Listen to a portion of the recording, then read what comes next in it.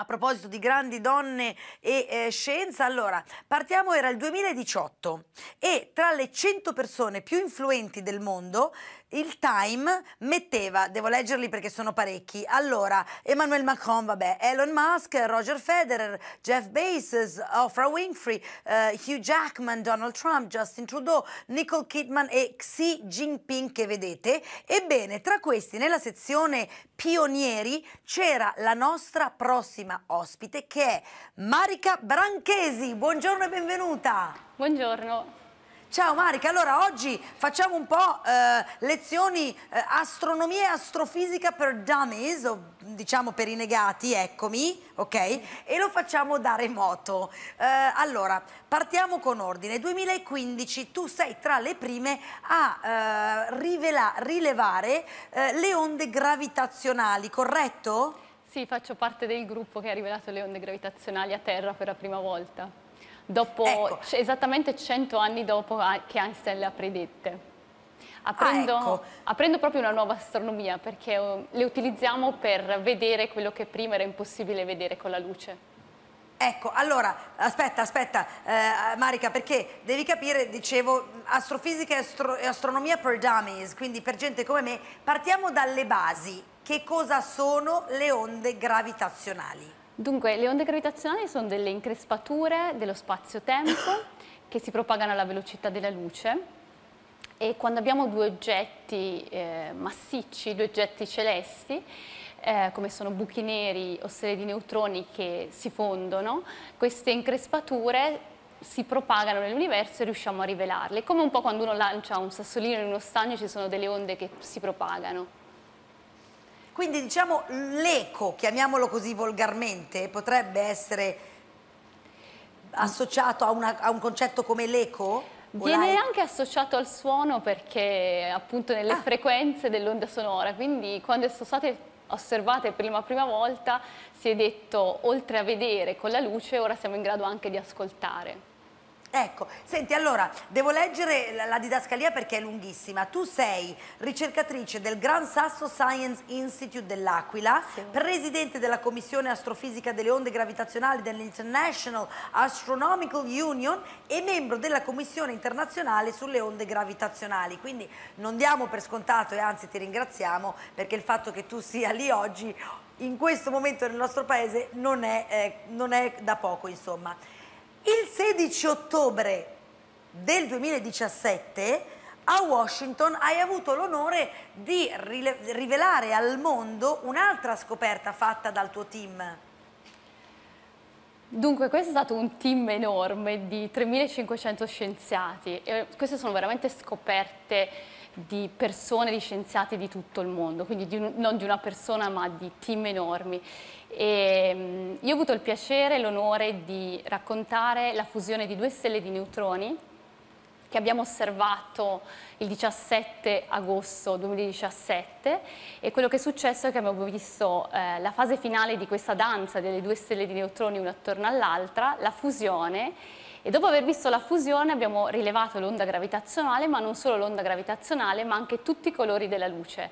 È stato osservato un oggetto che prima era blu e in dieci giorni è diventato rosso e poi lì abbiamo osservato anche la luce eh, nel radio eh, ad alta energia. E, mh, mm, la galassia, che, dove questo oggetto si chiama NGC 4993, è diventata famosissima e tuttora ci sono delle osservazioni là. Io coordinavo al tempo il gruppo che ha mandato l'allerta eh, a tutti i telescopi e tutti i satelliti e telescopi eh, che sono a terra hanno puntato questa galassia. Adesso qua si vede l'immagine che per me è sempre molto emozionante, sono immagini prese in quei giorni eh, l'ombra blu e la, la regione dell'onda gravitazionale, si arriva a questa galassia e lì si vede questo oggetto che prima non c'era, questo oggetto appunto blu che diventa rosso.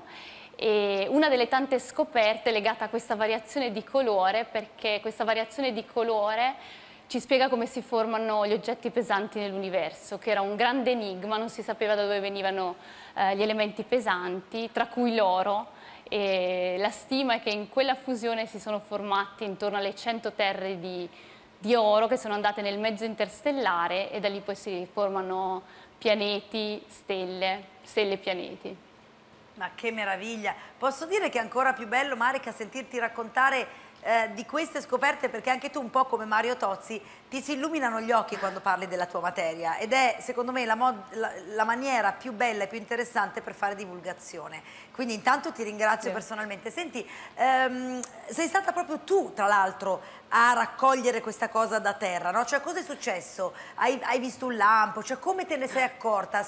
Sentivi che c'era qualcosa che stava succedendo? No, in realtà è un lavoro che è stato preparato in tantissimi anni e mi è, arriva mi è arrivata un'allerta nel telefonino perché eh, abbiamo questi sistemi di data analisi veramente molto veloci che cercano di identificare le onde gravitazionali, ci allertano nel telefonino e lì ci sono delle teleconferenze, quindi un lavoro in remoto e a quel punto si cerca di capire se il segnale è corretto e poi si lancia l'allerta ai telescopi ai telescopi no, Marica, classici. sto sorridendo perché adesso tu stai parlando di lavoro in remoto sì. su cose, capito, enormi, cioè robe che cambiano i destini della Terra. Noi nel nostro piccolo oggi stiamo conducendo il Kilimangiaro in remoto e quindi sorridevo per questo. Senti, dopo questa scoperta, la rivista Nature ti ha messo al secondo posto di quell'anno tra, era questo il titolo, 10 people who matter this year, ovvero le 10 persone che, ha, che contano e che hanno contato, che hanno fatto la differenza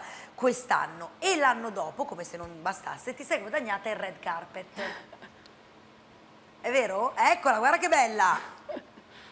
Ma a parte la soddisfazione, anche diciamolo, la bellezza, insomma, la gratificazione no? di essere riconosciuta, il red carpet, questa esposizione, eh, che cosa ti ha portato, che cosa ti ha dato questa esposizione mediatica? Mi ha dato una, secondo me una grandissima opportunità, che è quella anche di essere qui oggi, eh, di, di, poter raccontare la bellezza della scienza, di poter raccontare a tante ragazze che lavorando sodo, puntando in alto, si possono realizzare i sogni, perché per me scoperta, questa scoperta è stata un sogno. Eh, assolutamente e mi sembra che in questo momento sia molto chiaro quanto sia importante la ricerca in tutti sì. i campi. Eh, senti Marica, mi hanno detto che hai eh, scritto la definizione di una parola per il dizionario, corretto? Sì, per il dizionario Zanichelli quest'anno. Ah, però di che parola si tratta? Stella. Ma meraviglioso! Quindi adesso sai che tra poco avremo anche Antonelli, quindi la possiamo aggiungere diciamo alle parole eh, che tratterà lui. Mi dai una definizione veloce di stella? Ma io avevo dato una definizione che è questa, è una um, sfera celeste di plasma, quindi di gas estremamente caldo, ma la cosa più importante, le stelle sono una popolazione, ci sono stelle vecchie, stelle giovani, stelle grandi, stelle piccole, ci narrano l'universo sia nello spazio che nel tempo e sono le incubatrici degli elementi che producano la vita e quindi è vero che noi siamo polvere di stelle. Marica, io ti ringrazio moltissimo per essere stata con noi in questa puntata dedicata alle donne, alle donne e la scienza, alle donne e ricerca. Davvero grazie, in bocca al lupo e soprattutto buon lavoro. Grazie ancora a Marica Branchesi, noi grazie, grazie. ancora Marica, davvero.